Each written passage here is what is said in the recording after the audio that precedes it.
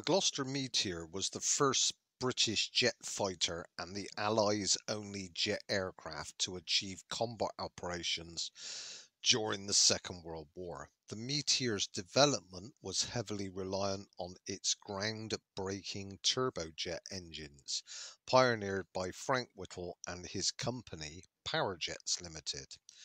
Development of the aircraft began in 1940, although work on the engines had been underway since 1936.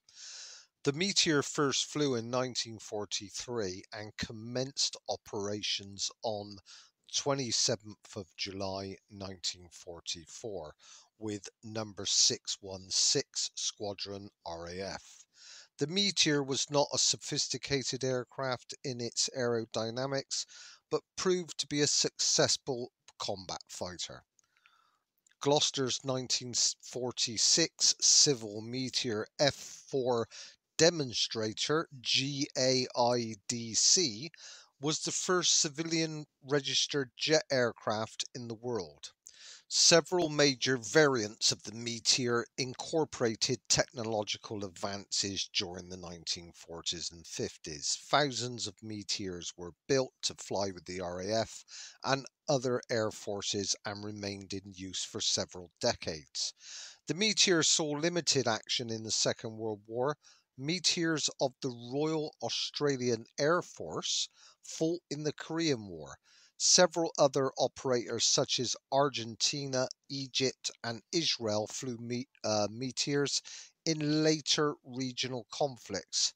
Specialized variants of the met meteor were developed for use in photographic aerial reconnaissance and as night fighters. The Meteor was also used for research and development purposes and to break several aviation records.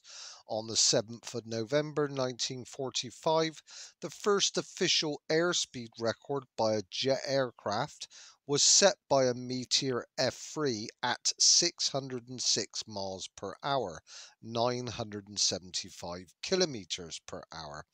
In 1946, this record was broken when a Meteor F4 reached a speed of 16, 616 miles per hour, 991 kilometers per hour.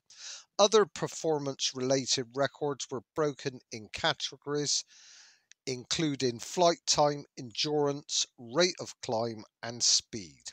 On the 20th of September 1945, a heavily modified Meteor 1 powered by two Rolls-Royce Trent turbine engines driving propellers became the first turboprop aircraft to fly. The 10th of February 1954, a specially adapted Meteor F8, the Meteor prone pilot, which placed the pilot into a prone position to counteract inertial forces, took its first flight.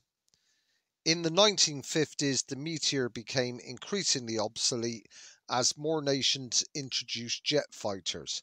Many of these newcomers having adopted a swept wing instead of the Meteor's conventional straight wing. In RAF service, the Meteor is replaced by newer types such as the Hawker Hunter and Gloster Javelin. As of 2018, two Meteors G-JSMA and G-JWMA remain in active service with the Martin Baker Company as ejection seat testbeds. One further aircraft in the UK remains airworthy, as does another in Australia. Okay, thanks for listening, thanks for watching, and until next time.